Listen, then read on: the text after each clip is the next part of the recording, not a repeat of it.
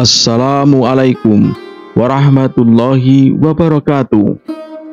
Kali ini kita akan membahas sebuah mikrobus yang baru dibeli oleh Orkes Melayu Aldela dari karoseri New Armada.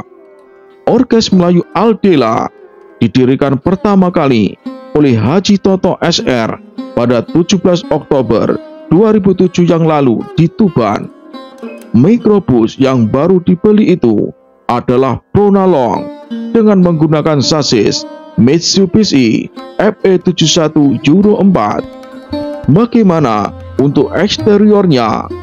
Di depan ada tulisan Aldela, ada headlamp, fog lamp, lampu hasad, serta lampu sen. Untuk di samping, livery warna putih kekuning-kuningan di samping ada tulisan Aldela, ada logo Aldela, dan gambar cumi berwarna merah. Untuk pintu ada tiga, di depan, tengah, dan belakang. Di samping juga ada lampu sen. Untuk bodi New Armada sudah menggunakan body press sehingga cepat dalam pembuatannya. Di belakang ada lampu yang jadi karakteristik dari New Armada. Di bawah ada lampu rem, ada juga kamera mundur, serta ada bagasi yang cukup luas. Bagaimana dengan interiornya? Di depan ada tiga kursi, yang satu untuk driver, yang dua dan tiga untuk kernet dan penumpang.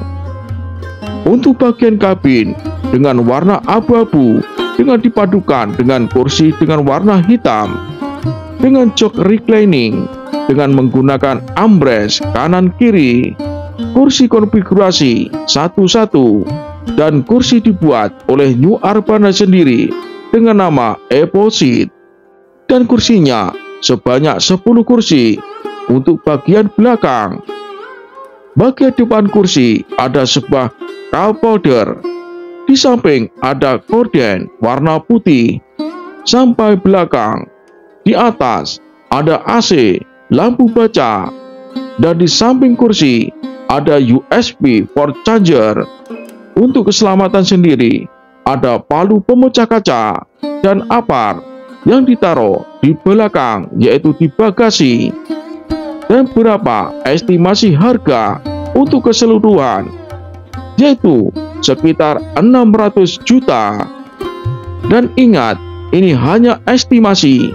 Jika Anda ingin tahu detail, silakan hubungi pihak New Armada. Sekian dari Kapitalis Ventura. Wassalamualaikum warahmatullahi wabarakatuh.